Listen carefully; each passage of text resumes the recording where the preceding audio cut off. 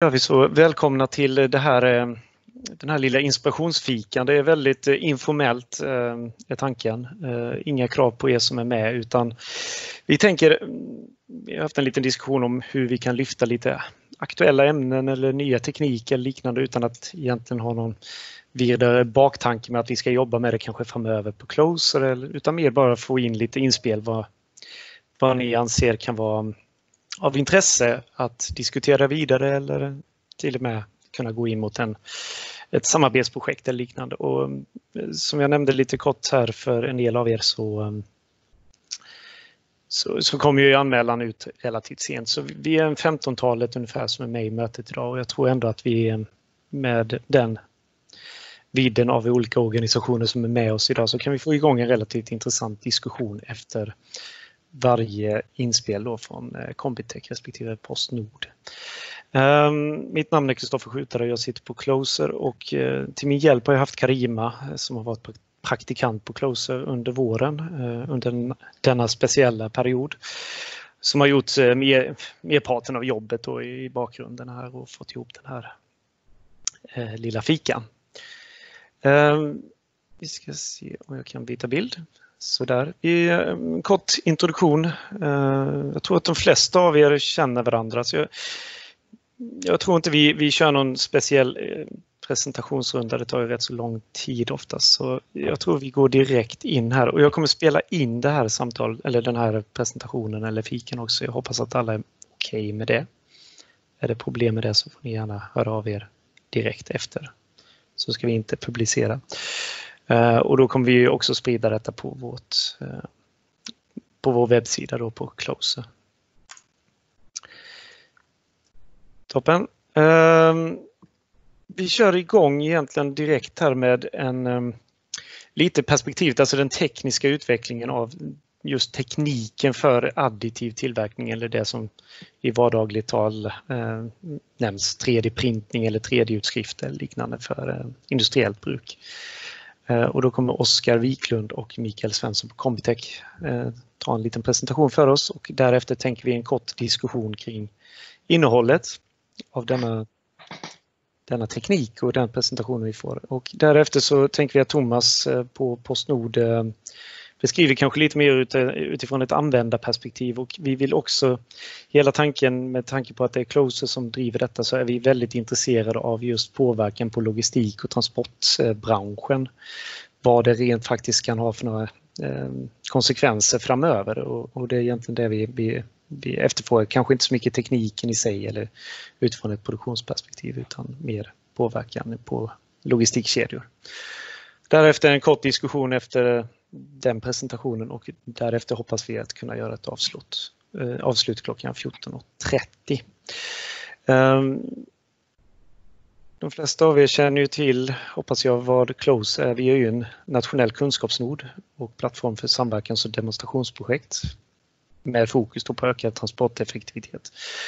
Och idag så möts vi egentligen i det som vi kallar för kunskapsnoden, det vill säga vår vårt ena ben där vi försöker sprida kunskap utifrån vilka som deltar i vårt nätverk. Eh, vi har ett, ett antal partners och samarbetsorganisationer som sitter på mycket kunskap som vi gärna vill hjälpa till att sprida. Och den andra delen är vår projektverkstad där vi, vi ser att det finns något intressant som vi kan samverka kring så försöker vi få igång projekt, samverkan mellan bolag och myndigheter, akademi. Och det ser väl egentligen ut så här om man tänker sig att man drar ut det och, och delar upp de här två olika rollerna. Så vi är väl här i den vänstra kolumnen idag. Eller vänstra delen av denna bild. Och hela tiden försöker vi ju föra tillbaka kunskap från vår projektverkstad också. Och det vi egentligen fokuserar på, vi har ju fyra stora tematiska områden. Eh, Främst utifrån ett geografiskt gränssnitt med de långväga multimodala godstransporterna och det urbana som sker inne i staden. Och där på tvärsen så går det här med digitalisering och energiförsörjning av vårt transportsystem.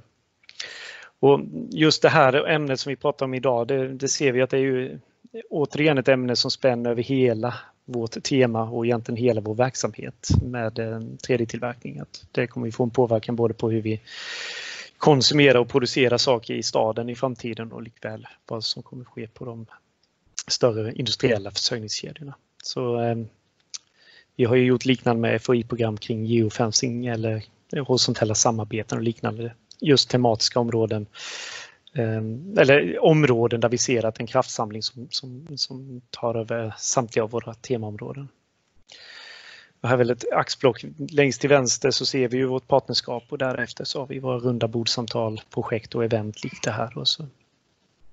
så ungefär lite kort om oss. Mer finns ju att läsa på lindholmen.se. Så jag tänker jag ska ge ord och bild till Oskar och ska vi se, har du ska vi se, du hade en egen presentation som du ville dela här så jag tänker, har du möjligheten redan nu att ta över presentationen? Oskar? Absolut, vi, vi ger det ett försök. Ja.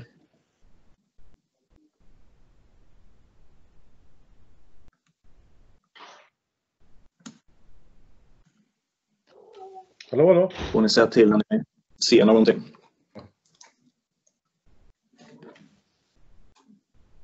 Kan ni se min skärm? Det syns bra. Absolut. Ja, men jättebra. Ska vi se till att dra igång nu? Eh, får börja med att tacka så mycket för den här möjligheten och i korthet presentera ett av våra teknikområden här på Combitech. Eh, just additiv tillverkning är en av de tjänstekategorier vi ser stort intresse för just nu eh, ute i industrin. Och för er som kanske inte känner till oss Combitechare sedan tidigare så är vi ett av Nordens största teknikkonsultbolag. Vi är helägda av Saab men fristående i den meningen att vi väljer våra egna kunder och uppdrag. Så vi har en ganska stor teknisk bredd men stark inom exempelvis då digitalisering och cybersäkerhet och teknisk design. Och kompetenser vi då använder för att utveckla ett hållbart och tryggt digitalt samhälle. Men idag så kommer vi fokusera på att ge er en kort introduktion till additiv tillverkning. Och det är en tillverkningsmetod med 3D-skrivaren i centrum. Vi kommer att eh, beröra lite hur vi ser på värdeskapande med tekniken utifrån några olika perspektiv och sedan så avrundar vi då med några mm, råd för de som vill ta till sig tekniken på ett eh, effektivt sätt. Och vi som presenterar idag då, det är jag, Oskar Wiklund och min kollega Mikael Svensson. Jag har arbetat med additiv tillverkning i olika former sedan 2013 någon gång. Och idag fokuserar jag mycket då på ja, dels Combitex tekniksatsning inom området men även då Saabs tekniksatsning eh, mellan affärsområdena. Mm och min kollega Mikael. Ja, och jag har ju då eh, nyligen trätt på det här eh, Combitech företaget här och jag har jobbat här ungefär 3-4 månader nu. Då. Eh, närmast har jag jobbat på Siemens eh, i eh, tre år med att bygga upp 3D-printingen i metall där och eh, order and business manager där för den biten. Eh, till historien hör väl att jag har hållit på med det här sedan mitten på 1900-talet höll jag på att säga, men 1990 i varje fall. Ja, ja. Med just rapid prototyping och, och, och 3D-printing och den biten. Och produktutveckling. Precis. Så vi sitter i rollen som teknikledare här på Combitech och representerar även Combitech i Saabs eh, styrgrupp för additiv tillverkning. Och genom Saab så ingår vi även då i nätverket av delägare till företaget Amexi som tycker det är värt att känna till. Amex är ett joint venture-bolag här i Sverige som grundades på initiativ av Wallenberg för att samla just Wallenbergsfären av industrier och ni ser namnen på dem där under bilden. Just för att gemensamt kunna driva industrialiseringen av additiv tillverkning framåt i Sverige. Så de är vår gemensamma rd arm och testbädd för additiv tillverkning. Eh, vi har också ett samarbete med Siemens Energy som en tillverkare av armartiklar åt våra kunder. Siemens är då en av de aktörer som nått absolut längst fram i tillämpning av AM i världen, skulle vi säga. Så vi på Combitech, vi arbetar med allt från en grundläggande förståelse kring tekniken till utveckling av applikationer och eh, fungerande försörjningskedjor för serieproduktion. Så allt från idé till serielösning. Men för att bara snacka lite teknik här då. Så de vanligaste termerna vi använder idag när vi talar om additiv tillverkning eh, är just additiv tillverkning, additive manufacturing, förkortat AM. Det är det jag menar när jag säger AM hela tiden här. Eller 3D-printing. Och I praktiken så används de ofta synonymt. Men enligt en standard så finns det vissa skillnader som är värda att känna till. Kortfattat skulle jag säga att 3D-printing, det är det som 3D-skrivaren gör. Additiv tillverkning är då den större process som använder sig av 3D-printing. Men ser vi till formuleringen här i standarderna så särskiljer man då additiv tillverkning från subtraktiva och formativa tillverkningsmetoder. Så hur skiljer sig då egentligen additiv tillverkning från de här mer traditionella tillverkningsmetoderna? Och additiv tillverkning? Ja, med additiv tillverkning så bygger man ju material som man vill ha då i, i flera lager så att säga. Lager för lager oftast då med de här olika teknikerna som vi kommer ta upp då. Eh, och med subtraktiv tillverkning så tar vi bort material som vi inte vill ha då. Och eh, med formativ tillverkning så gjuter eller smider man då med olika formverktyg då, till den formen man vill ha. Så vi kan säga liksom, additiv tillverkning är ju ett samlingsnamn för ett flertal olika processer och teknologier egentligen. Gemensamma nämnaren här är just tillverkningsmetoden. Att vi med en 3D-skrivare eh, bygger vårt material lager för lager i en additiv process utifrån en 3D-modell. Så det skiljer då i grunden från eh, traditionella tillverkningsmetoder som då är beroende av subtraktiva processer. här talar vi då typiskt skärande bearbetning. Mm. Eh, för att tillverka antingen vår slutartikel eller de verktyg som är nödvändiga för formativa processer. Då. Absolut. Typiskt gjutning eller smide. Och additiv tillverkning det handlar ju inte bara om en process eller ett material så att säga. Nej precis, det finns eh, en uppsjö av processer som vi ser här i bilden. Eh, och alla har sina för och nackdelar och sina material man kan arbeta med. Så tillsammans täcker de in en stor bredd av industrier och eh, applikationer. Det alla har gemensamt är just hur de tillverkar delar. Det vill säga lager för lager i en additiv process. Eh, enligt en standard här så har vi sju olika processkategorier som täcks av begreppet AM. Och varje processkategori består av olika tekniker och ännu fler maskiner. Så här ser vi allting från UV-härdande av flytande polymerer, extrudering av termoplaster, det är där ni ser alla desktop-printers idag, eh, till laserbaserade pulverprocesser för metall och svetsning med elektronstrålar. Det finns en väldigt stor bredd här som världen känner till. Men för att ge några exempel på hur 3D-printade artiklar kan se ut så har vi tagit fram sex stycken här på skärmen. Eh, längst ner till vänster där så ser ni ett eh, höftben som man har eh, skiktröntgat i en patient, ett skalat höftben som man sedan har designat individanpassat ett implantat till. Och så kan man göra, i brist på bättre ord, en provinstallation innan man går till operation för den här patienten. Eh, längst ner till höger så har ni en 3D-printad skosula. Den där går väl att beställa från Adidas idag. Här kan du få en individanpassad sula och även estetiskt men såväl som funktionellt. Uppe till vänster har ni en golfklubba för den som vill eh, bräcka chefen på golfbanan. Och längst upp till höger har ni ett exempel på hur man kan kombinera olika materialegenskaper med vissa AM-processer. I det här fallet av färg, transparens och till viss del eh, hårdhet i materialen.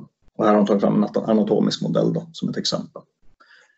Nere i mitten, där har ni turbinblad från Siemens, till en deras gasturbiner. Där man byggt in krökta kylkanaler som kan följa ytan på det här bladet för att optimera funktionen med det. Men jag tänker att borra ett krökt hål, liksom, den här typen av geometri kan vi bygga in med AM. Och längst upp i mitten där, där har ni ett exempel på det vi brukar kalla funktionsoptimerad geometri. Och den här typen av organiska former de kan vi skapa genom att eh, ja, egentligen vi utgår från en volym, tänk en cylinder i det här fallet. Och så lägger vi krav på den, i det här fallet lastkrav, du ska fästa in vajrar i den där. Och så låter du datorn rationalisera bort allt material vi inte behöver. Och då kan vi få de här väldigt organiska, komplexa, till synes omöjliga tillverka geometrierna. Men med hjälp av 3D-skrivaren så tillåts vi tillverka dem ändå så ska vi bara beskriva intresset för additiv tillverkning i industrin och hur vi ser på värdeskapande, då brukar vi summera det med två stora värden egentligen. Vi talar typiskt om hur vi kan förbättra funktionen i våra produkter. Men vi talar även om hur vi kan förbättra försörjningskedjorna för våra produkters livscykler. Och börjar vi kolla på just produktfunktion så kan vi säga att ja, traditionellt så är vi vana att designa inom begränsningarna för våra tillverkningsprocesser. Vi säger att additiv tillverkning det är värdeskapande för det kan ta bort många av de här gamla begränsningarna. Det är den första tillverkningsprocessen som har så få krav på just geometrin. Och som designer så måste vi förstå den här nya designfriheten och hur den tillåter oss att designa för funktion i större utsträckning än inom traditionella processramar. Det finns en ständig klyscha här runt AM och att komplexitet är gratis. Men det ligger också en sanning i det. Just designfriheten, att skapa komplex geometri, är en av de kraftfullaste värdeskaparna med tekniken. Den tillåter oss att göra de här organiska formerna, lättviktstrukturer, inbyggda kylkanaler och att med en komplex komponent ersätta en sammanbyggnad av flera komponenter. Detta utan att det driver kostnad för komponenten. Och I bilden här så ser ni ett exempel från ett företag som heter Arup. Och det visar lite på den komplexitet vi kan uppnå med AM. De två komponenterna ni ser här uppfyller samma funktionskrav fast med färre tillverkningssteg, lägre vikt och även ökad styrka i den högra komponenten. Vi skulle säga att minst lika viktigt som effekten på funktion är dock effekten på våra försörjningskedjor. En traditionell försörjningskedja eh, ser vi av nödvändighet utspridd eftersom att den involverar många olika steg som alla kräver sin egen yta. Du får ju en kedja här som täcker in flera olika företag, flera olika platser och det ger oss en komplexitet som ofta motiverar stora produktionsvolymer och driver produktion att eh, centraliseras för att hållas effektiv. AM ser vi värdeskapande.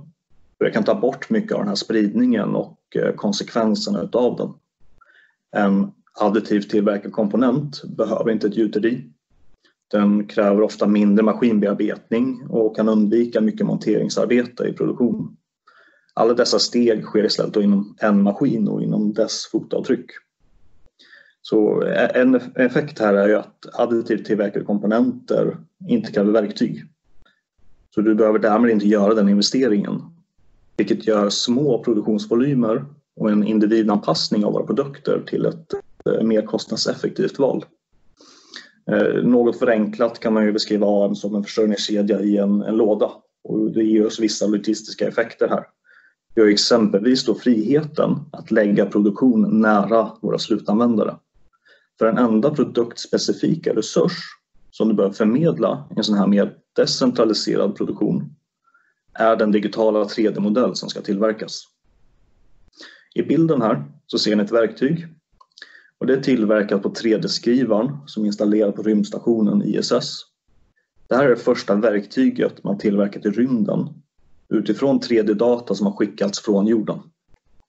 Det är ett ganska perfekt exempel på hur AM möjliggör behovsdriven produktion nära våra slutanvändare. Så för att gå in lite djupare eh, på värdeskapande så kan vi i korthet beskriva lite av effekterna av de här frihetsgraderna. Och här har vi bland annat ett bra exempel från Siemens, mm. Mikael, som du känner väl till.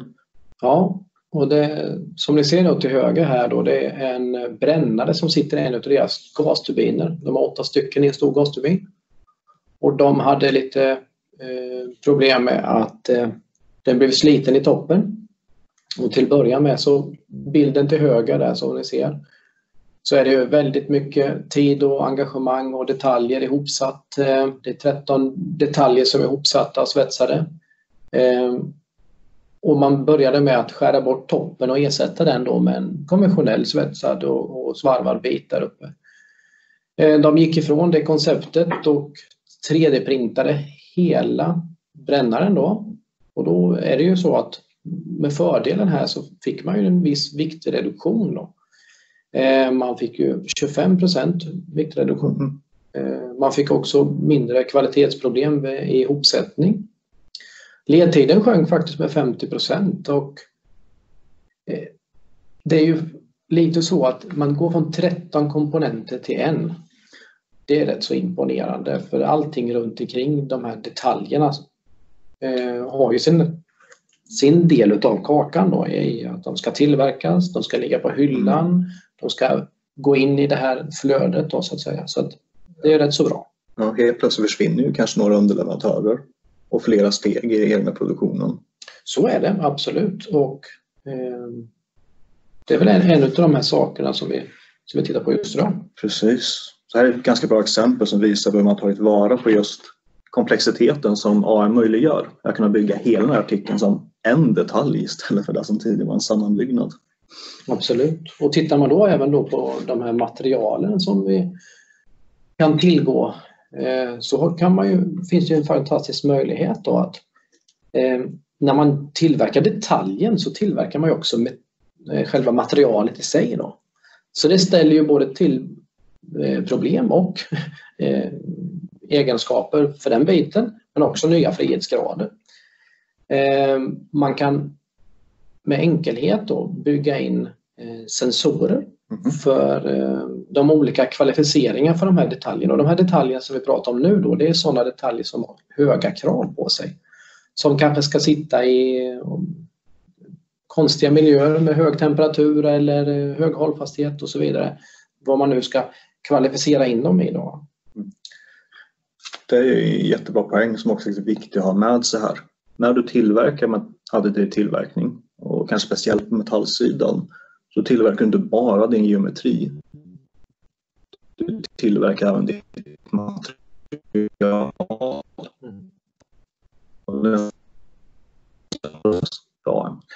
Och även då samtidigt som man eh, ogärna bearbetar i legeringar som är svåra mm. så kommer vi naturligtvis att eh, ta fram en, en, en, produkt som är nästan en färdig detalj. Då, Precis, i och med att du bara bygger det material du behöver så kan du landa väldigt nära din önskade slutgeometri vilket minskar hur mycket du måste maskinbearbeta en detalj. Mm. Istället för att utgå från ett stort block med titan och försöka bearbeta bort 90 procent.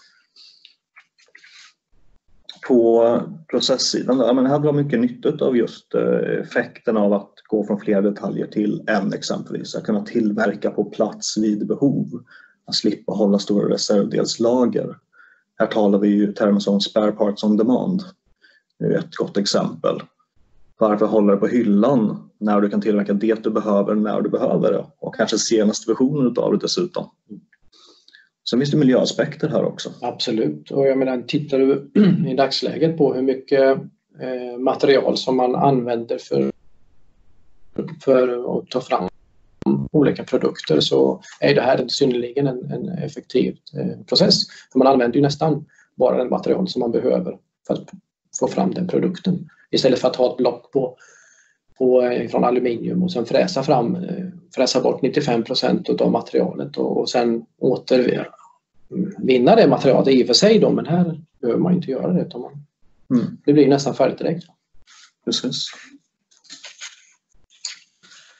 Men naturligtvis så eh, finns det ett antal eh, trösklar för det här. Och det är ju liksom kostnad, material, det är ju standarder. Mm. Det är de här bitarna som vi Precis. kommer fram till. Ja, men, som alla andra produktionsprocesser, det finns fördelar och nackdelar. Absolut. Eh, så det är inte bara frihet här och orealiserad potential utan just de punkterna du tar upp här. Men det är generellt sett dyrare att tillverka en komponent med AM så det blir väldigt viktigt att ha koll på hur man skapar värde med tekniken.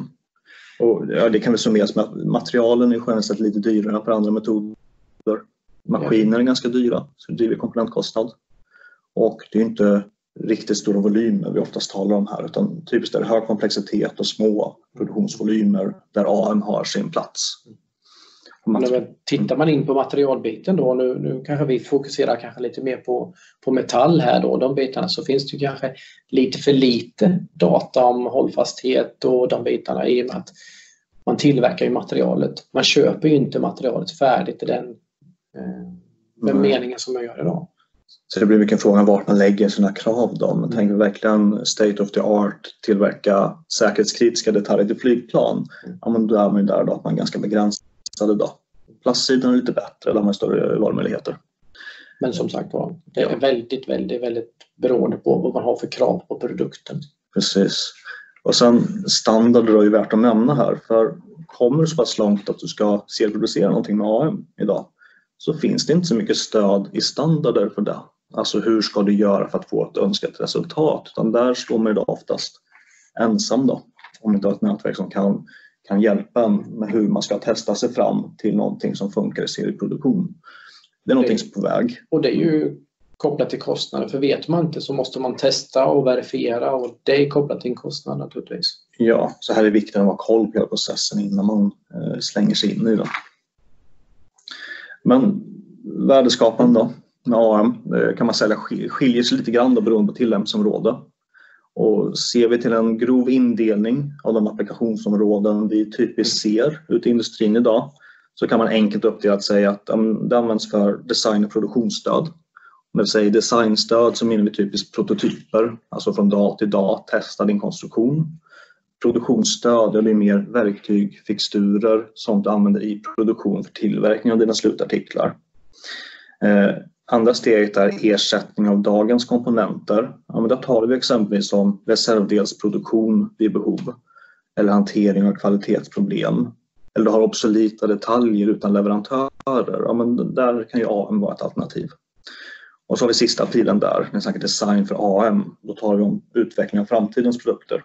Alltså designade för AM från grunden med full hänsyn till allt vad den tillverkningsmetoden innebär. Och det här är också en indelning som vi tycker beskriver en ganska bra läroresa för att ta till sig eh, additiv tillverkning på ett effektivt sätt. Man börjar med design och produktionsstöd, man slutar med design för AM. Så, men just värdet här för design och produktionsstöd, eh, det ligger ofta då i flexibiliteten här eh, med kortare ledtider och att snabbt kunna svara mot ändrade behov i utvecklingen. AM ger oss ju lite kortare utvecklingstider, eh, lite kortare time to market just genom att minska antalet produktionssteg och underleverantörer. Och det är genom att sätta den här tekniken i händerna på ingenjörer som vi möjliggör de här fler och snabbare iterationerna på kortare tid. Då kan ingenjörerna själva sköta prototyp och verktygstillverkning utan de här externa beroendena. Och det är så här vi ser att man börjar bygga det här mindsetet kring AM. Hur designar man för AM? Du kan få, få lite första return on investment, eh, första maskinen har köpt in och kanske lite buy-in från en verksamhet för vidare satsningar. Eh, så har vi ett exempel i bilden där ner till vänster ser ni exempelvis en 3D-printad sandform som används för att gjuta en första detalj. Bara för att testa sin design innan man går vidare och investerar i dyra verktyg. Om man nu har beslutat sig för att gjuta i slutändan. Ja. Kollar vi på ersättning av dagens komponenter så ja, men AM tillåter oss att producera utan inköp och lagerhållning av verktyg och delkomponenter. Gamla gjutämnen, eh, obsoleta komponenter ligger ju nära till hands här. Men eh, även reparationer, vilket vi såg med Siemens-exemplet. Och friheten här med AM ger oss ju en värdefull flexibilitet just för eftermarknad. Och det är genom att börja applicera tekniken här som vi börjar lära oss mer om design för AM vi kan börja testa på metall. Vi kan lära oss mer om hur man efterbearbetar 3D-printade artiklar och ekonomin kring AM och bygga upp just för att designa från grunden för det. Och ser vi exempelvis till kostsamma operationer här som säg flygplan eller gasturbiner eller rymdresor för den delen så kostar ju stillestånd där fantliga pengar. Kan vi då korta ner ledtider för att få igång operationerna igen så skapar ju det här genast stora värden för tekniken. I bilden längst ner till höger ser ni ett exempel hur man kan bygga material på befintlig geometri. Och exemplet upp till vänster, det är från US Navy. Det där är just ett obsolescensärende. Det kan vara ett gjutgods. De inte hade kvar verktygen, de hade inte kvar leverantörerna, men du behövde fler. Så hur löste man det här problemet då? Ja, men I det här fallet så gjorde man just det, man 3D-printade en sandform och så göt nya den, tillåts uppdatera designen korta ner ledtiderna, slutkostnaden blir lägre och produktens kvalitet blir faktiskt bättre. Mm. Men det är först när du här från grunden tillåts optimera din design för sin funktion som du kan realisera den här fulla potentialen med AM. Men här krävs det att du kan arbetsflödet, du känner till utmaningarna och hur du skapar en ekonomi kring AM för att du ska kunna innovera effektivt med den. Men här tillåts vi då utnyttja friheterna fullt ut genom exempelvis ja, men, topologioptimering, det är vad vi kallar när vi eh, optimerar fram de här organiska strukturerna eller inbyggda kylkanaler och lättviktstrukturer. Och exemplen här längst till vänster ser ni en värmeväxlare exempelvis. Det där är typexemplet på en produkt som är perfekt anpassad för AM. Mycket komplexitet, oftast behöver individanpassas. Så den kategorin av produkter har verkligen tagit ett stort kliv nu med hjälp av additiv tillverkning.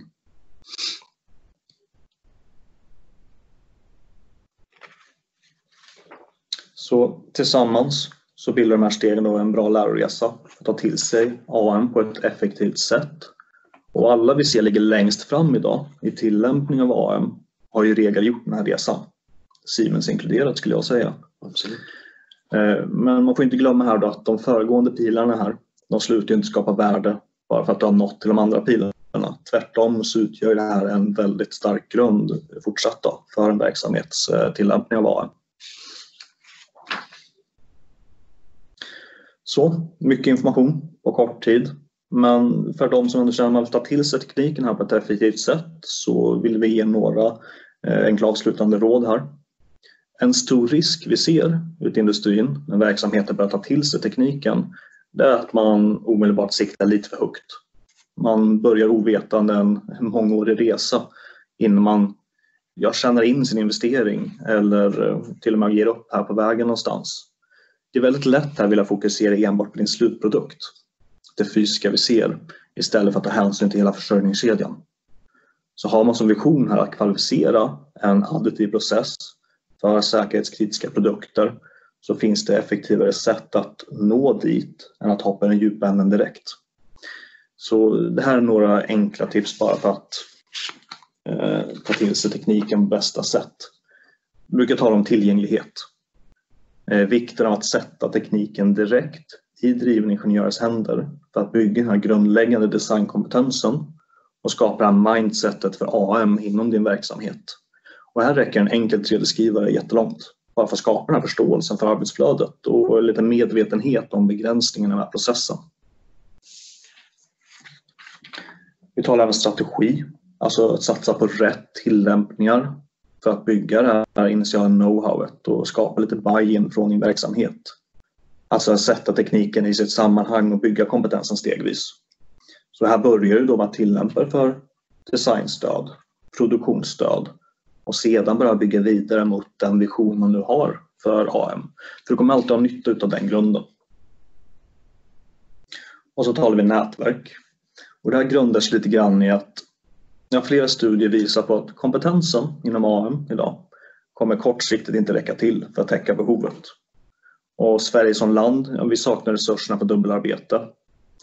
Det fungerar inte längre att bara köpa in en 3D-skrivare, kalla sig för ett AM-centrum och sen göra samma arbete som alla andra. Och det är väl lite så det har funkat historiskt i Sverige. Det finns en anledning till att nätverk som det runt Amexi har växt fram här i Sverige. Och det är för att vi måste arbeta för att underlätta industriella samarbeten för att komplettera varandra och stärka svensk industri inom AM. Det är enda sättet att konkurrera internationellt. Så, eh, vill du lära dig mer om möjligheterna med AM här så uppmuntrar vi att hålla kontakten. Vi är alltid villiga att diskutera tekniken. Eh, vi hjälper dig gärna få en lite djupare förståelse för teknikområdet och gällande standarder. Eh, vi kan även hjälpa identifiera rätt applikationer att fokusera energi på först. Men vi utvecklar även applikationer och kvalificerar dem för produktion så att ni vet att ni får rätt kvalitet till rätt pris och kan även ge fungerande försörjningskedjor för ja, vare sig det är prototyper, reservdelar eller man vill hela vägen till serieproduktion. Vi ser det som vår uppgift att försöka avdramatisera AM lite, sätta det i sitt sammanhang och se till att ni kan skapa värde med tekniken från start. Så med det vill vi tacka så mycket för möjligheten att tala med er. Eh, vi hoppas det var en givande inblick, om en ganska intensiv och kort, i teknikområdet. Eh, har ni några frågor så tar vi jättegärna emot dem och annars är ni ju självklart välkomna att kontakta oss utanför mötet. Tusen tack och jätteintressant att få en liten inblick i den här världen. Jag tänker direkt, är det någon som har någon eh, direkt fråga till, eh, till Oskar och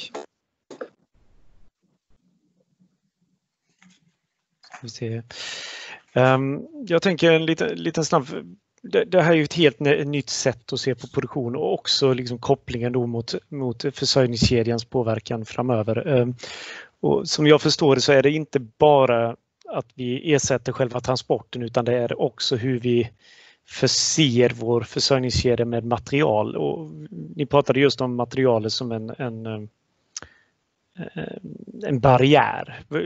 Kan ni vidareförmedla eller vidareutveckla detta? Är det, är det tillgången lokalt på den typen av material eller är det, hur, hur tänker man just med materialtillgång för, för den här typen av tillverkning? Typiskt och vi kanske ska utgå från en av de mer mogna processerna för produktion och det industrin intresserar mycket för idag och det är just pulverbäddsprocesser för metall. Och det har mycket att göra med att du ska tillverka ett pulver för en legering som lämpar sig för 3D-printing.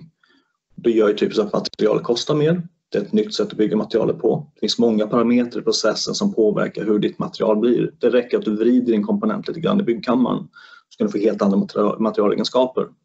Så att bygga upp en, ska säga, en statistisk eh, bas för en konfidens i materialen tar ju tid och driver kostnad. Vilket gör att vi har inte jättemånga material att välja på idag som har det underlaget plats. Så har man väldigt specifika materialkrav så kan det vara en begränsning idag. Om vi tittar på komposit och, och den biten. Mm. Då är det, finns ju naturligtvis en hel del att tillgå där. Eh, men där är ju egentligen om man ska kvalificera för sjukhusprodukter eller något liknande sånt så är det ju en kvalificeringsprocess då som man måste gå igenom och titta på. Ja. Allt landar ju lite vad du ställer för krav på din produkt, din slutapplikation. Eh, talar vi just design produktionsstöd, ja, där kan vi komma undan. Där har vi ganska gott utbud om polymerer och eh, kompositer som funkar jättebra. Eh, men talar vi liksom metallartiklar till Gripen exempelvis, ja, men då är situationen en annan av naturliga skäl. Men bristvara på själva grundmaterialet pulver, det, det ser vi inte. Absolut inte. Nej, det är mer bredden då. Mm. Jämfört med andra produktionsmetoder. Ja, var det svar på din fråga? Det var det. Det var det. Tack så mycket. Eh, jag tänker vi kan väl köra eh, Thomas presentation också från Postnord och sen tänker jag att vi har eh, fått in all information vi behöver så kan vi se om det kommer några frågor eller kommentarer på, på hela det här området. Så tack så mycket återigen för presentationen här. Ska vi se, Thomas, är du med oss? Ja, jag är här. Um, du kör, mm. okej okay, vi kör via den, det är jättebra, det går bra. Mm. Um, hur byter jag då? Ger du mig tillstånd att byta eller? Det är ju frågan hur jag gör det. Ja. Har du den lokalt så kan ju du likväl dela den. Mm, ja, inte på den här datorn, då får jag bara hoppa in. Ja, du, du, får, du får göra ett ljud så byter jag. Ja, Okej, okay. yes. uh, Thomas Lundström heter jag då, och är Head of 3D på Postnord, driver Postnords 3D-initiativ som vi kallar det. Och det handlar om att se över hur 3D-print kommer att passa in i framtidens logistik och uh, supply chain. Så att uh, vi kan bara börja lite kort, du kan hoppa i det nästa slide. vi kallar det då för Postnord 3D Solutions och det har att göra med precis lite som manatalarna var inne på att det inte bara är själva printen vi pratar om, den är ganska orelevant i sin helhet om man säger så och uttrycker sig lite konstigt men det, det, har att göra med att det är så mycket annat som måste fungera och själva printen kan man egentligen ställa vart som helst eh, och eh, producera egentligen vart som helst. Så vi kör vidare. Varför jobbar Postnord med det här då? då? Eh, många känner till Postnord som en brevleverantör, men det var många år sedan vi blev eh, ehm, inte, vet du, vi är inte statligt finansierade längre och eh, är ett, eh, ett privat bolag, eller ett statligt ägt bolag delvis. Då, då. Um, men tittar man då på hur Postnord jobbar i storhet så har vi jättemånga produkter och vi jobbar i en jättestor utsträckning av hela, över hela supply chainen. Uh, vi jobbar alltså från lagerföring till själva leveransen, men vi har också Strålfors där jag jobbar i dotterbolag eh, med över 100 års erfarenhet av printproduktioner och även tillverkning av maskiner och andra plastproduktioner. Och börjar man då titta på alla de här produkterna tillsammans och sätter ihop dem, då ser vi att vi har en majoritet av kundernas eh, leveranskedja eh, redan in-house hos oss. Eh, från vår sida då så vill vi självklart optimera deras upplevelse med oss och eh, optimera deras leveran leveranskedja. Eh, är det okej okay att jag kallar det för supply chain istället för leveranskedja? Den, den, den känns lite sådär. Men så själva poängen här är att se över hur 3D-print kommer fungera in i allt det här och så att vi kan optimera våra steg. Eh, många vet ju inte om att Postnord är en av de största tredjeparts eh, lagerförarna i hela Norden. Vi sköter lager åt eh, stora företag som Zalando, CDON, H&M och så vidare. Där man går in online och beställer så beställer man egentligen via Postnords lager direkt. Ehm, det är inte många som vet om, men det är en stor del av Postnords eh, kärna, dagens kärnaffär. Vi kan gå vidare. Så lite bakgrund varför vi gör det då.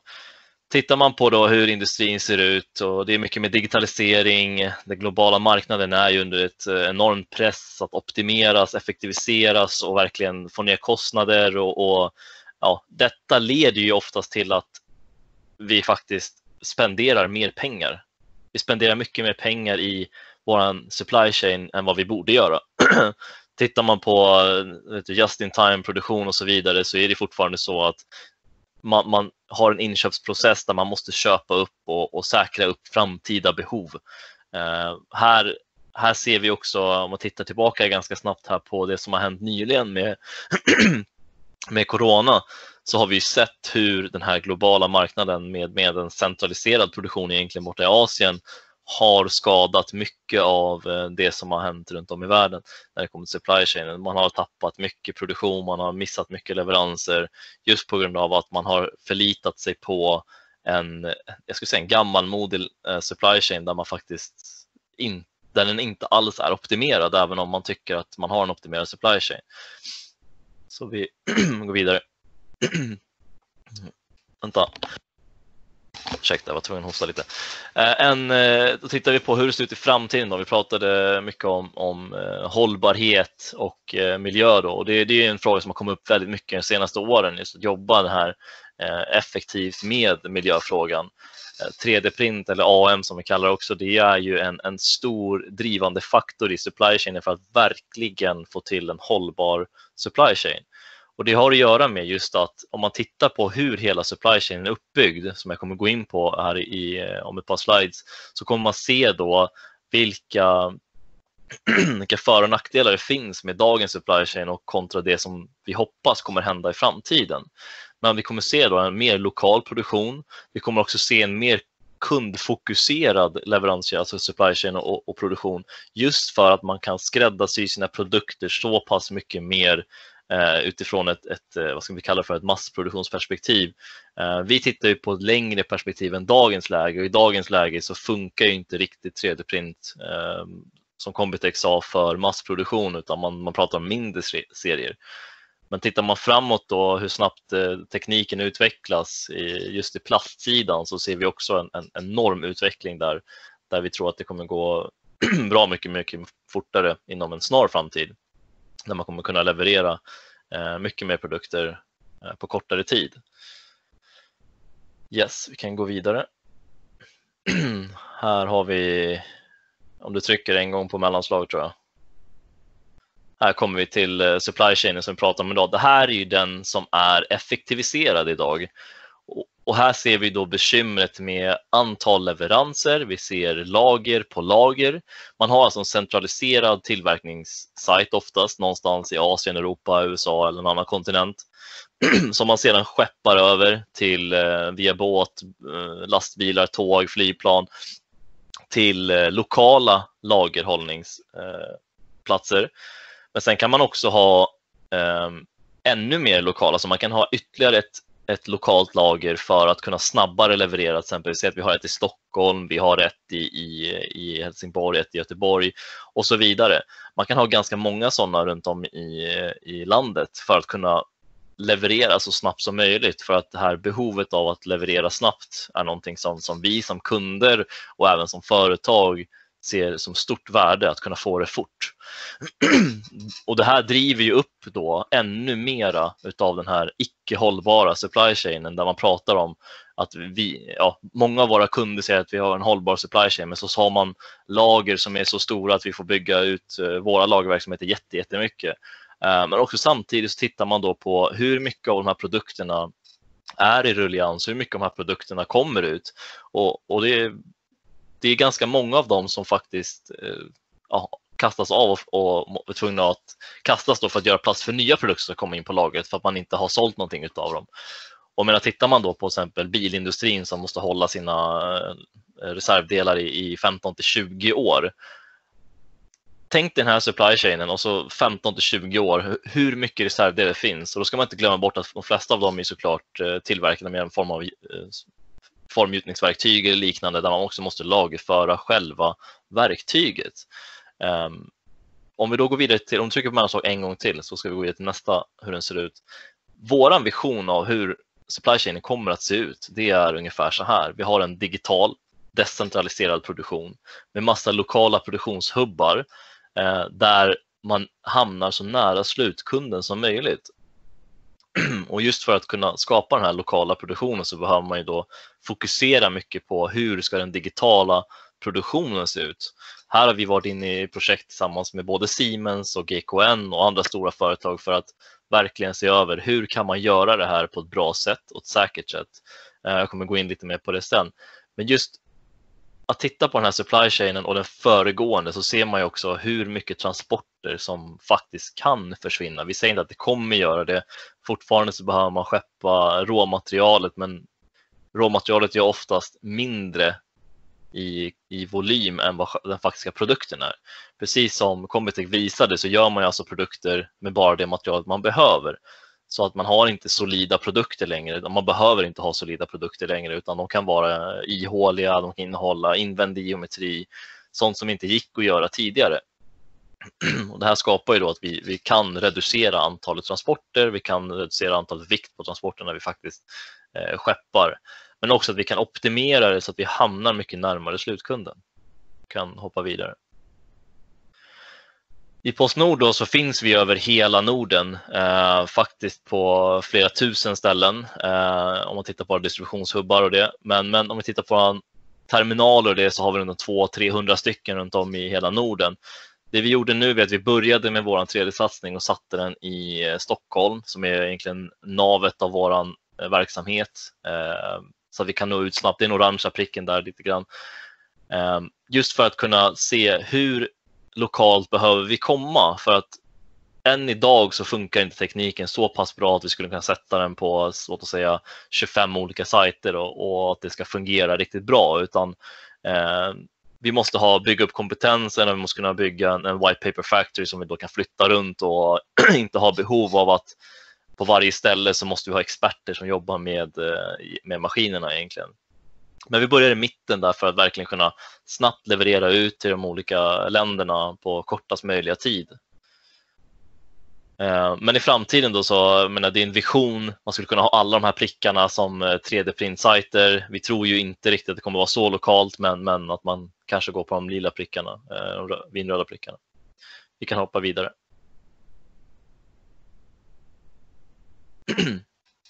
Vi kan hoppa vidare nästan. Ehm, som pratar om mycket då att här, i bakgrunden ser ni ett av våra lager. Eh, nu försvann den ganska fort, men i, i, bakgrunden ser vi ett av våra lager.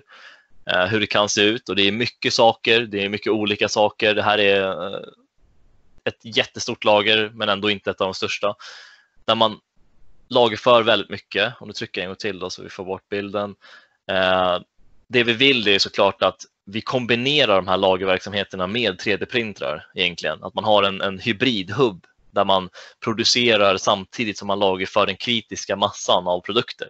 För det är fortfarande så att även om vi, vi säger att eh, 3D-print kan hjälpa till jättemycket så är den inte tillräckligt snabb för vissa av produkternas krav. Vi kan alltså behöva leverera en produkt Eh, mitt i natten till exempel. Vi har något som heter In-Night Delivery, där eh, mestadels till eh, bilföretagen, där vi levererar reservdelar till eh, verkstäderna mitt i natten så att eh, verkstäderna har reservdelen dagen efter eller på morgonen efter.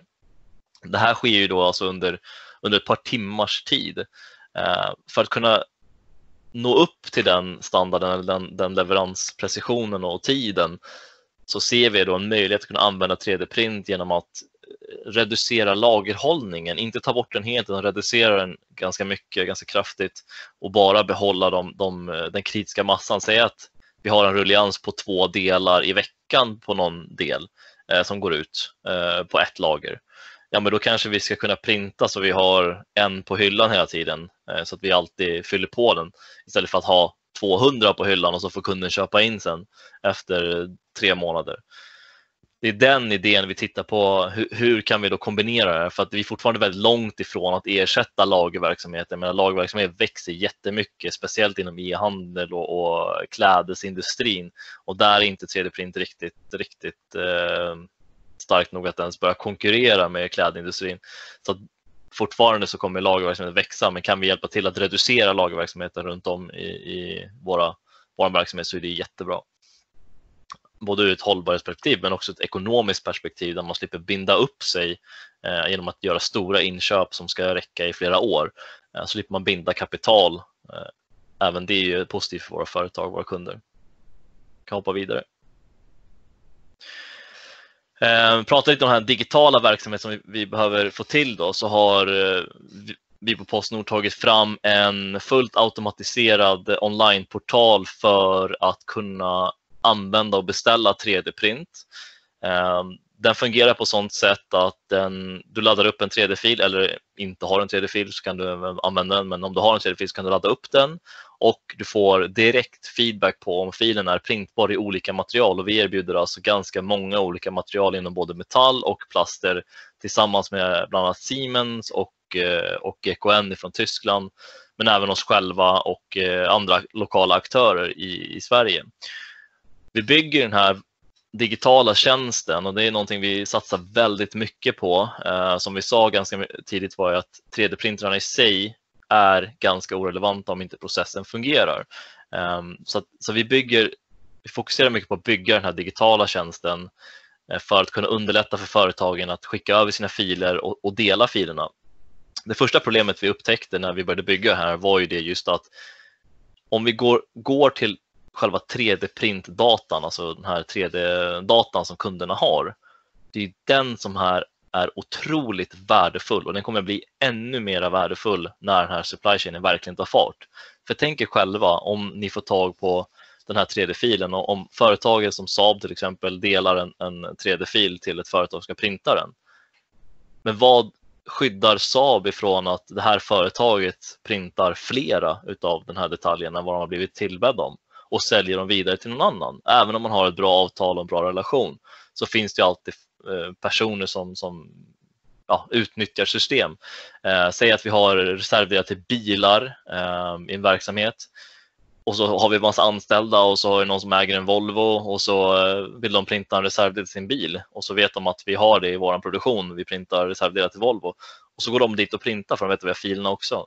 Här hittar, måste vi hitta sätt att skydda våra kunders rättigheter, alltså deras rättigheter till datan och det jobbar vi jättemycket med en, en, en kryptering för att kunna skicka filer online, distribuera produktionen vart som helst, men bara kunna printa x antal stycken som kunden faktiskt har bett oss printa. Så beställer de tre så kan vi bara printa tre. Har de beställt tre i Norge så kan vi bara printa tre i Norge och ingen i Sverige. Så djupt måste vi kunna gå för att den här ska kunna växa och bli väldigt stor. Så där lägger vi ner jättemycket energi på att få till en, en, digital supply chain som faktiskt fungerar.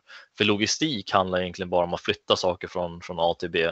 Men det också handlar, mycket där handlar också om hur vi hanterar filflödet, informationslogistiken. Vi kan se några av våra kunder som vi jobbar med. Det är SJ, Karolinska, Mekonomen, Meijer Turku från Finland. Eh, vi jobbar även med MTR, bland annat Otis, Hissbolaget som använder den här tjänsten. Ehm, så den är konstant under utveckling. Vi är inte färdiga med någonting här utan det är en helt gratis tjänst att använda om du är ett företag. Vi valde att göra den gratis för att kunna göra mer tillgänglighet, att kunna skapa den här närvaron på marknaden, att folk faktiskt kan testa sig fram och, och få tillgång till enkel 3D-print. För att vi märkte ganska snabbt också att det var ganska svårt att beställa 3D-printsaker. Man skickar en, en, fil och väntar på en offert i flera dagar och då försvinner den här tidsaspekten. Här får du direkt feedback, du får automatisk prissättning direkt på portalen till exempel så att du inte behöver vänta. Eh, den är inte helt färdig prissättningen så att det är fortfarande lite så svårt ibland om man har större volymer. Vi säger ett par hundra stycken detaljer, då blir det fortfarande lite svårt. Men har man ett par stycken detaljer så är det ganska enkelt att gå in och beställa. Eh, vi jobbar tillsammans med flera finansbolag, Svea och så vidare också för att kunna göra ännu lättare för företag att beställa utan att behöva vänta. Vi kan hoppa vidare till nästa. Och ett exempel på SJ då, och det är, det är ganska intressant för att eh, som Combitech, de visade ganska många häftiga delar ute i rymden och, och sådär och pratade mycket om kritiska detaljer och det och sa även det att vill man inte skapa kritiska detaljer så, så är det lite enklare. Men det är också så att vi, vi valde en väg ganska snabbt där vi sa där vi tittar då på, på våra kunder och vad de har för problem Eh, och mycket av det är faktiskt inte kritiska detaljer som är problemen utan det är mängden av delar och eh, ganska enkla delar som faktiskt kostar massa pengar. Så till exempel som här i SJs fall så pratade vi om en toalettrushållare faktiskt som eh, kostade SJ 600 kronor styck och då undrade vi hur är det ens möjligt? Och det var just för att eh, SJs tåg är specialdesignade och eh, de här toalettrushållarna är då också specialdesignade. Så det fanns en leverantör i hela världen som tillverkade de här åt dem. Och de var ju tvungna att köpa i stora volymer, minst 3000 stycken åt gången. De hade alltså inte så stor Eh, omsättning på de här toaletthushållarna att de behövde 3000 stycken varje gång. Men, men själva poängen här var då att problemet som de hade var att den gick sönder för att eh, när man böt den så tryckte man ihop den. Ni ser den uppe till vänster där, den långa biten som ligger uppe till vänster i, i bilden. Tryckte man ihop den och eh, det var en fjäder där inne eh, och egentligen bara en klämpassform och till slut så ramlade den här isär och försvann egentligen. Eh, det vi gjorde med 3D-print var ju att vi byggde en invändig geometri lite som Da Vinci-låset som man har sett på film eh, där man måste vrida och vända för att montera den. Ehm, med fjädern i. Då. De ville inte bortgå ifrån designen för att det, det var den de ville ha då, tanke på tågen. Och då löste vi det problemet, ta bort den, men vi också sänkte kostnaden med nästan 70 procent från 600 kronor till någonstans runt 100-150 kronor styck. Eh, och de behövde inte ha en lagerföring och de behövde inte beställa 3000 stycken av gången. De kunde beställa ett par stycken varje gång utan problem. Eh, den han håller i mitten det är en uppdaterad version där vi pratade om att byta ut den här designen helt och hållet. Då. Eh, och Det är också ett sätt att visa den där delen alltså printad i ett stycke, ingen montering med rörliga, rörliga detaljer. Vi kan hoppa vidare till nästa bild.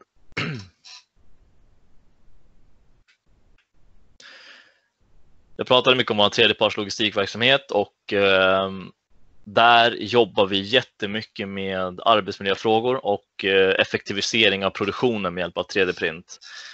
Postnord sköter ju mycket av de här digitala boxarna som routrar från Bredbandsbolaget och, och, och Telia och Telenor och så vidare. Eh, det som händer är när en kund avslutar abonnemanget eller vi, de har en felaktig route så skickar de tillbaka det, men då skickar man tillbaka det till Postnord i, i Småland, eh, oftast där vi har ett jättestort eh, lager för sådana här saker. Eh, problemet är att vi måste ta emot dem, testa dem varenda gång för att se att vad är problemet, får felkoderna eller, eller funkar den så vi kan packa om den. Mängden olika modeller som finns på marknaden är jättestor. Så vår personal fick ju alltid bekymret att de var tvungna att koppla in de här kablarna för hand, en och en. Så vi byggde egentligen en, en väldigt enkel fixtur så att eh, som ni ser på bilden nere till höger så ser man fixturen där alla kablar sitter fast i så man bara kan trycka in själva modellen. Och här skapade vi då olika eh, fixturmodeller eh, fast vi hade en generisk bas som man gjorde slide on, slide off. Det är den ni ser sitter fastskruvad i bordet. Så istället för att man hade olika arbetsstationer för de här olika så kunde man ha en arbetsstation med flera olika fixturer och kunna arbeta. Det här gjorde man redan innan 3D-print, men det kostade också 50-60 000 per fixtur och tog ungefär 7 till, jag vet det, 7 till 11 veckor att få, få tag i en. Här pratar vi ett par, ja, kanske en tusenlapp och, och ett par dagars arbete. Nu när vi har den generiska versionen också så behöver vi bara byta hur kablarna sitter. Det går ganska fort. Men vi ökade produktionseffektiviteten med 17 procent på första veckan, eh, vilket var helt fantastiskt. Och sen just det här att kunna ta in nya modeller till vår tredjepartslogistik eh, kunde vi reducera till en veckas tid istället för ja, 7 till 10 veckor, eller 7 till 11 veckor. kan hoppa vidare. Och det är också, vi, vi har ju mycket maskiner i vår verksamhet, extremt mycket maskiner i vår verksamhet och det innebär extremt mycket reservdelar. Vi har alltså en, en reservdelsomsättning på över 100 miljoner kronor per år eh, totalt. Det är ganska mycket som cirkulerar i vår verksamhet när det kommer till eh, reservdelar. Vi har teknikavdelningar som jobbar med att eh, återställa reservdelar som faktiskt går sönder, eh, som vi kan antingen svetsa ihop eller laga själva Eh, till viss del för de är så pass dyra. Så här exempel armen som är ett väldigt bra exempel på hur man använder 3D-print för att optimera en, en ersättningsdel men också byta material. Eh, den övre delen var en aluminiumbit som eh, sitter i maskinen här nere till höger som ni ser. Den, den ska alltså trycka in breven i, i, i banan framåt.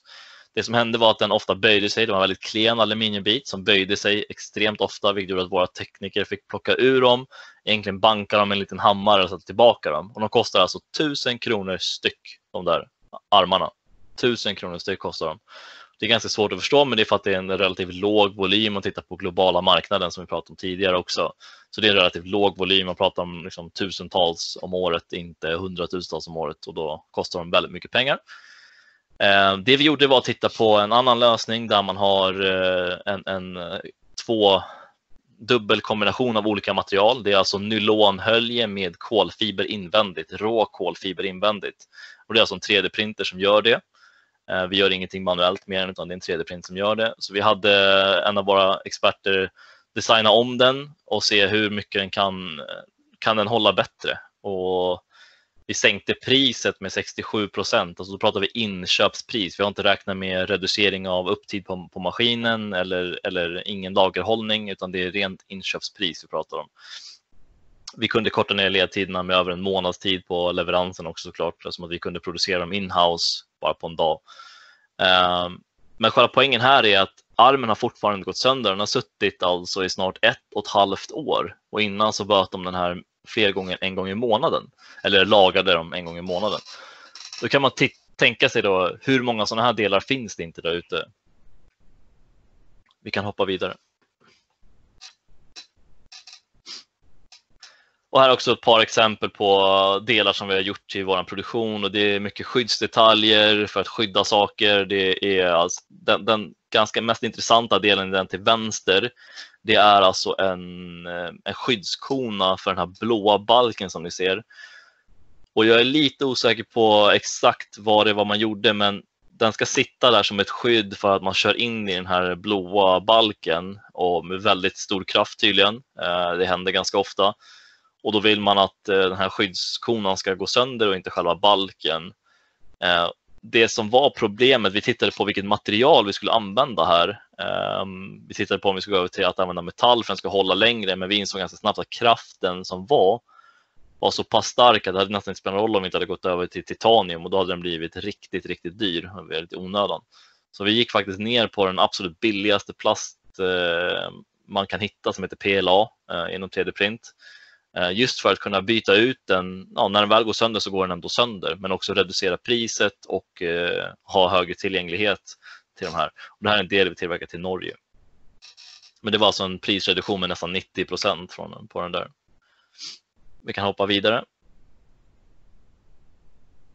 Ja, den här får vi hoppa över, laggar så mycket. Du bara hoppar över den. Ja,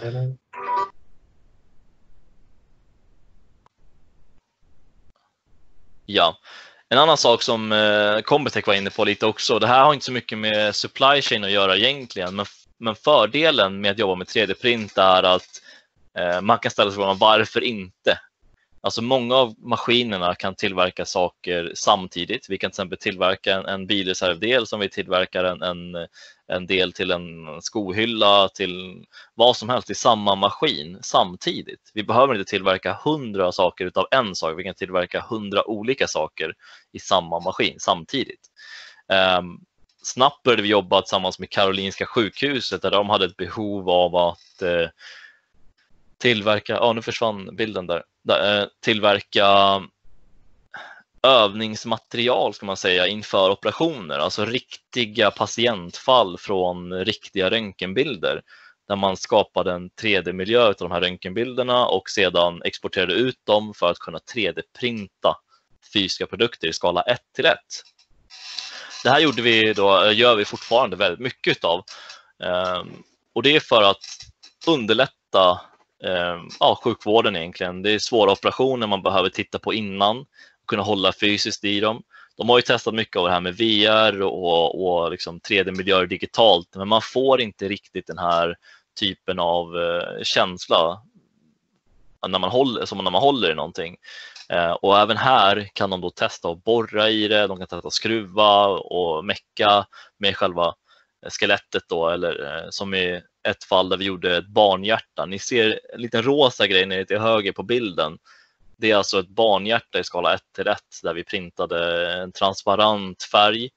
Eh, om ni kommer ihåg, Combitech visar de här olika bilderna. Högst upp till höger var det en, en anatomi med genomskinligt och färger. Vi har en sån maskin så vi printar den här rosa eh, hjärtat i transparens. Eh, en speciell transparensgrad där de skulle lysa igenom så den är inte 100% transparent.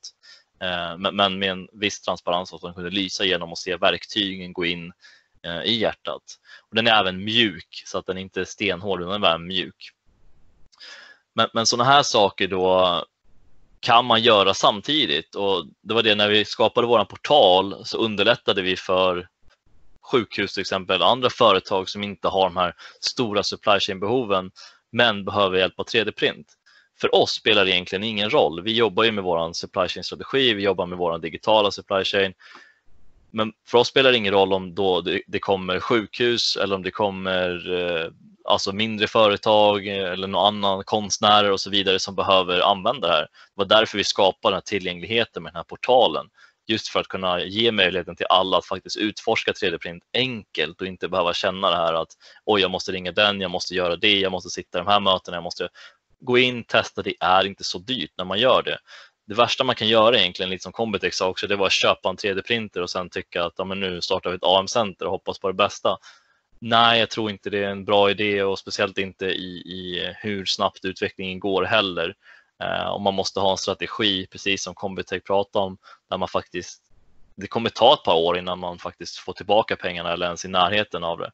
Eh, men det viktiga för oss var egentligen att bara skapa en miljö där företag kan gå in och testa sig fram och känna att de kan få hjälp när de behöver. Vi, vi hjälper gärna till ganska mycket hos våra kunder eh, att optimera filerna till exempel för 3D-print för att vi kan få in filer från konstruktörer som jobbar med traditionell tillverkning där vi ser då till exempel att det här är, det här är inte alls optimerat för 3D-print. Eh, då hjälper vi till att eh, omvandla den till mer en 3D-print-optimering. Om du hoppar vidare till nästa. Jag tror att det är slutbilden. Ska vi se. Ja. Det själva fundamentala vi pratar om i supply chain är egentligen att förändra hela sättet vi tänker när vi tänker supply chain. Idag så tänker vi på eh, produktlivscykeln eller produktlivslängden som en, ja, eh, en liten båge med, med ramp up och long tail som det kallas, där long tailen är den extremt jobbiga biten för kunder att hantera. Det är alltså den nedåtgången av en försäljning av en produkt där man fortfarande måste ha kvar tillgängligheten till produkten eh, och det är den som är extremt kostsam. Under peakperioden så kostar egentligen produkten ingenting eh, eh, som att man säljer så mycket och man har inga problem med in och ut genom lager och så vidare. Men så fort man kommer ner till longtailen eller i ramp-upen, alltså i början av produktens livslängd, där är de två största problemen. Eh, med hjälp av 3D-print så ska man kunna tänka sig att eh, i starten av en produkt så ska vi inte gå in med attityden att vi måste ha en 100% färdig produkt där vi eh, är 100% säkra på att den här kommer räcka i 15 år utan vi ska kunna faktiskt gå in med attityden att vi ska lansera en produkt, eh, en, en good enough MVP som man, som man kan kalla det också, där vi ser ganska fort vad är problemen. Om vi, vi, vi säljer den till en testgrupp, vi ser direkt om det här är, det här är problematiken med produkten och sen att vi kan producera med hjälp av 3D-print upp till flera, alltså tusentals pratar vi fortfarande om, om det inte är en kritisk produkt som Combitech var inne på, då krävs det lite mer andra eh, insatser. Men att man, man har den, den, det tankesättet att man kan faktiskt starta med 3D-print, man kan faktiskt göra iterationer av sin produkt under produktens livslängd. Tills man kommer till att man har lyckats slå igenom, då kanske man behöver köpa in ett formverktyg och, och, det finns ju andra alternativ till det också. Man behöver inte alltid köpa själva formverktyget, man kan köpa en, en, en 3D-printad sandform till exempel som Compitex också pratade om. Um, men också att man, man, faktiskt ser till relation, vad är det för produkt vi ska sälja? För många grejer är till exempel att ja, men man, man säljer, vi säger en robotgräsklippare. Där har man ju jättemånga delar i en maskin. Men hur många av de delarna kommer att gå sönder? Hur många av de delarna behöver vi eh, tillverka i samma batch som vi gör upphandlingen för alla andra delar. Och i dagens läge så vi har ett jätte, jättestort lager för Husqvarna, eh, inte bara för robotgräsklippare, men för andra typer av trädgårdsmaskiner. Det är jättestort, över 45 000 artiklar eh, där man kan fråga sig hur mycket av dem behövs egentligen? Och det är den, den här frågeställningen som företag måste börja ställa sig redan i tidigt skede. Att börja titta på hur mycket kostar en produkts hela livslängd?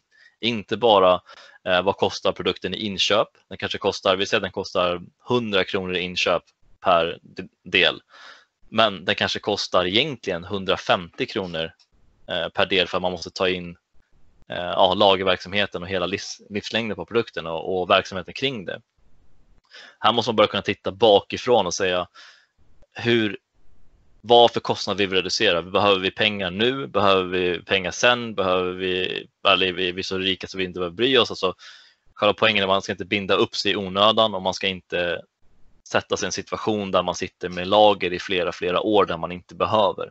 Och man ska lära sig av sina misstag eh, där man har kastat jättemycket produkter. Vi hade en kund, jag kan inte säga vilken, som sa att de, de, hade, de hade alltså fått pris för hållbarhet, var ett av de Sveriges mest hållbara företag. Eh, det visade sig att de själva tyckte att det var lite, när vi pratade om 3D-print så tyckte de att ja, det känns lite, känns lite dåligt att vi har fått det här priset med tanke på att hur mycket delar vi slänger från vårt lager varje år för att kunna få plats med nya lagerdelar. Eh, och samtidigt så ibland händer det att när vi har slängt den här delen så kanske det kommer tre månader senare så behöver vi ha den. Då måste vi göra en ny beställning och återupprepa processen. Så att hela det här tankesättet måste förändras om vi ska kunna få en mer hållbar supply chain. Eh, det är det mitt budskap till alla, att börja tänka på riktigt. Vad är det produkten ska vara till för? Och vad är det faktiskt vi vill göra med produkten? Och behöver vi faktiskt eh, ha så många utav dem. Det var egentligen det jag hade, så tack för mig. Tusen tack eh, återigen väldigt eh, intressant och väldigt kul också att se den praktiska tillämpningen av, av tekniken. Ehm, jag tänker så här, vi är ett litet gäng kvar här. Ehm, en, är det någon som har en specifik fråga direkt till ehm, Thomas? Jag skulle kunna ställa massor frågor. Eh, tack för en bra mm. presentation Thomas. Eh, Oskar här för övrigt. Tack själv. Tack själv. Det vore jättekul att koppla ihop. Jag ser många gemensamma beröringspunkter här. Eh, många gemensamma problem. Men det här är ju hela delägarsfären, hela Mexi och Saab och Combitech arbetar ju exempelvis med krypteringsfrågor, cybersecurity, när man liksom når högre mognadsgrader med additiv tillverkning. Det är en superkritisk fråga. Eh, så det är kanske någonting man kan koppla ihop på. Eh, sen direkt fråga till er då. Du visar det här med potentialen för er lagerhållning och tänka om. Men jag undrar, har ni räknat någonting på hur stor andel av er lagerhållning ni ser kan effektiviseras med hjälp av AM? Ehm, vi håller på med den beräkningen faktiskt. Vi håller på med vår egen eh, lagerhållning av våra egna reservdelar. Eh, och vår initiala beräkning och vår hypotes som vi har fått fram från vår teknikavdelning ligger alltså på runt 15 till 20 procent redan. Eh, när man har börjat titta ganska snabbt på det. Så att eh, vi ser stora potentialer med det. För oss, ja, det innebär ju besparingar till 20-30 miljoner om året ungefär, eh, där mm. vi håller på och arbetar. Eh, och det är inte bara själva lagerhållningen utan det vi pratar om är också att reducera eh, alltså, nertid på maskinerna dessutom. Eh, nu pratar vi om maskinreservdelar. Då. Men just lagerhållningen kanske ligger på den 10 till 15 procent i dagsläget eh, som vi ser det. Just det. Sen, ni fokuserar ju helt rätt där. Ni börjar kika på produktionsstöd och reservdelar, det mer icke-kritiska segmentet.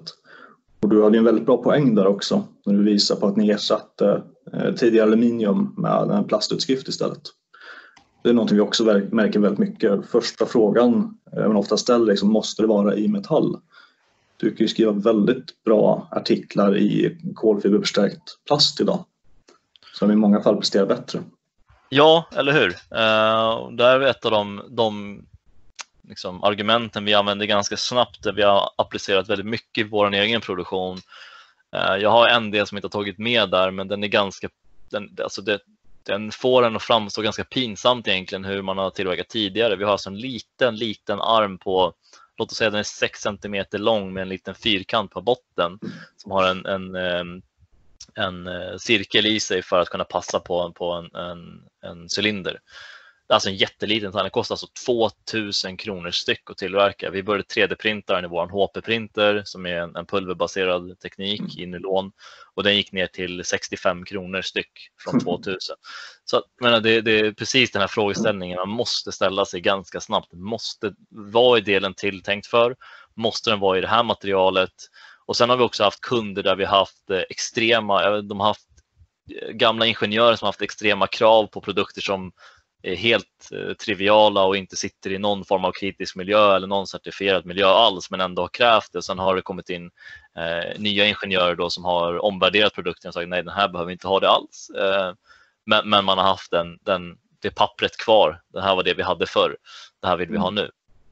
Det finns eh, många sådana skräckexempel från, eh, från vår industri. De har väldigt stora produktkataloger och väldigt lång historik på gamla komponenter det eh, finns exempel på gamla gjutgods som sedan har gått över till maskinbearbetas utan omdesign. Mm. Eh, ja, det finns ganska stora värden att plocka om man kollar bakåt lite där. Absolut. Jag menar, det, är, det är sådana här frågor som man måste börja ställa sig. Och det här, nu pratar vi ganska mycket om att ersätta befintliga delar. Men, men sagt, tittar vi framåt på hur leveranskedjan borde se ut framåt så behöver man ha eh, tankesättet redan från början när man tar fram nya mm. produkter. Och, och det ligger ju på kunden eh, i stort där, liksom att lära sig kravställa och eh, designa för det då, om du snackar design för AM. Mm. Ehm, med just design och konstru- design produktionsstöd och till viss del ersättning komponenter. Men där blir kravbilden enklare så där är ju, kan man potentiellt automatisera redan idag. Ja, precis. Mm. Ja, men jätteintressant. Men koppla gärna ihop och prata mer, absolut. Nu ja, men låt oss hitta tiden. Det ja. kombinerar våra nätverk lite absolut. Superintressant. Eh, och jag tänker lite här, för det jag förstår, alltså om man bara ställer en fråga kring, kring ehm, vi pratar nästan att vi binder ihop två stycken delar. Alltså vi har ju försörjningskedjan vi säger, alltså den traditionella transporten och sen har vi produktionen. Kommer, hur, hur kommer detta tas emot av företag? Kommer man kunna acceptera det här nya synsättet med additiv tillverkning? Vad, vad är, vad är bilden? Är det fortfarande lite science fiction eller?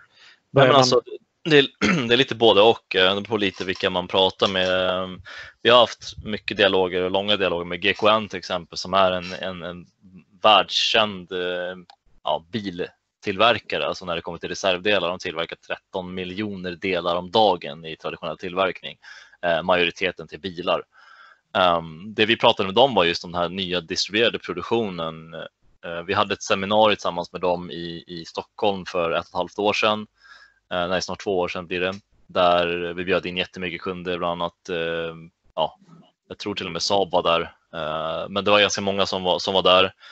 Eh, och där pratade man just om hur tillverkarna kommer att se ut i framtiden och just GKN som är en extremt stor tillverkare, alltså producent, pratade även om det här med att eh, bli en digital tillverkare, behålla expertisen. För det är någonting som till exempel Postnord, vi kommer aldrig bli en, en eh, en ingenjörsverkstad med eh, bil, bilingenjörer som ska tillverka reservdelar, utan vi vill tillhandahålla en, en, en supply chain som är enkel, alltså så att du kan skicka dina, dina produ din produktion via oss. Eh, sen om det är via 3D-printer eller via lagverksamhet, ja men det får vi det återstår att se, men förhoppningsvis via 3D-print då.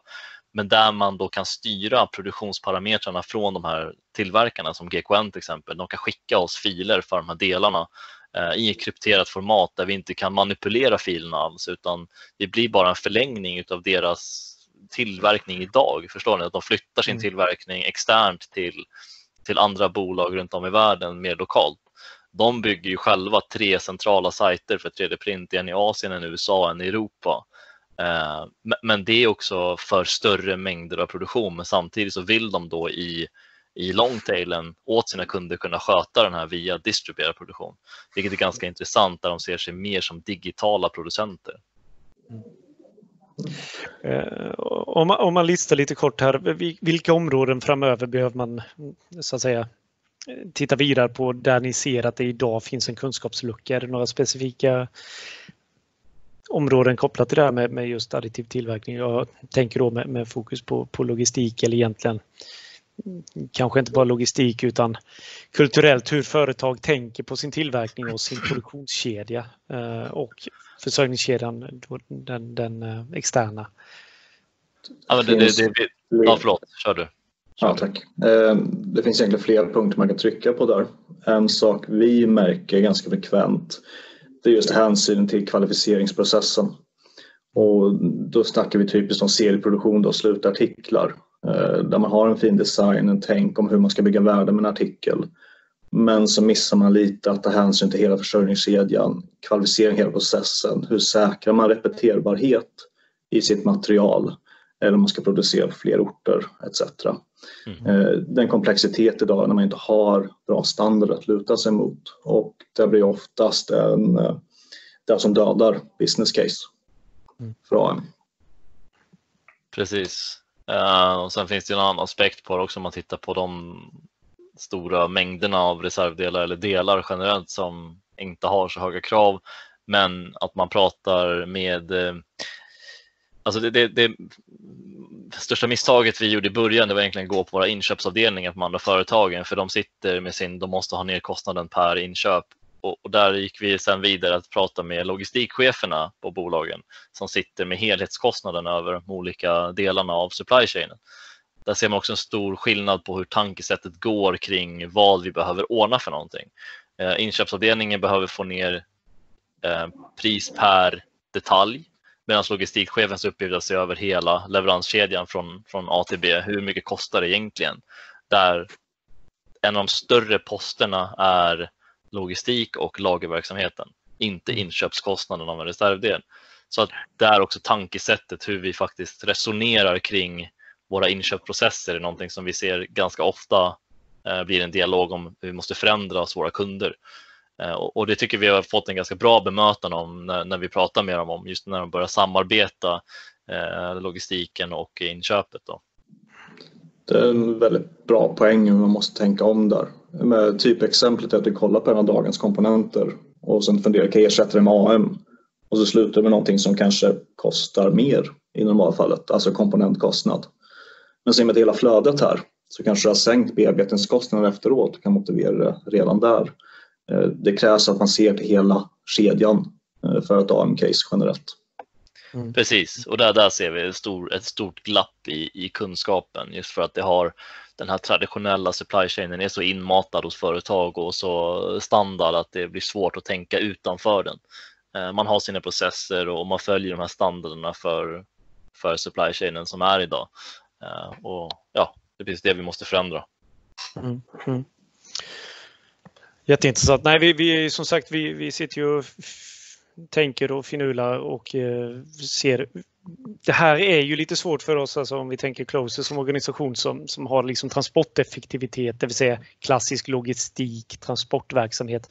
Här börjar vi gifta ihop produktionen med, eh, med distributionen och vi ser ju att det är ju det här gränsskiktet där det kan ske väldigt mycket förbättringar framöver. Så det är där här kommer ju additiv tillverkning, det, det, det, blir ju, det sätter ju verkligen fingret på problemet egentligen. Alltså att vi mm. behöver få också de mjuka aspekterna inom ett klassiskt tillverkande bolag att tänka om så att säga och, och se det här som en, en integrerad process mellan distribution och tillverkning. Så, så det, återigen, det här är väldigt intressant för oss också att följa framöver.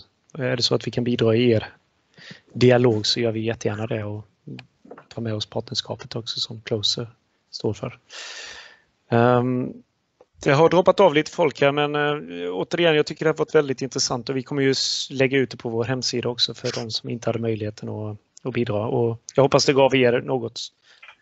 Äh, det verkar som ni fick en bra kontakt där. Äh, så eh, får jag tacka för idag.